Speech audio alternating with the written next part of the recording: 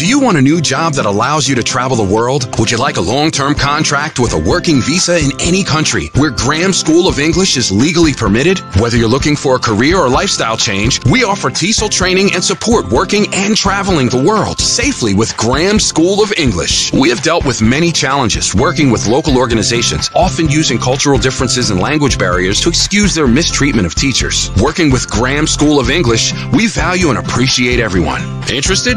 Just search Graham School of English and connect with us on our official website and social media pages.